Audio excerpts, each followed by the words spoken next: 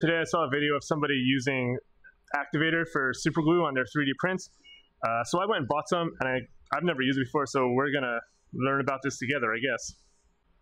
Alright, so I got some sacrificial benchies, my super glue, and some like support pieces I'm gonna try out. So, I don't know, we'll just pop some glue here. This will be like the the first guy without the activator. I don't know, count to 10. 1, 2, 3, 4, 5, 6, 7, 8, 9, 10. Bang, nothing. Not even a little bit. Put some of this. And they said you just like pop it on there and then like spritz the activator. So this is barely touching. So Oh, nope. Oh my god. Oh, that's crazy. I thought I messed it up. I probably did, but still, look at that hold.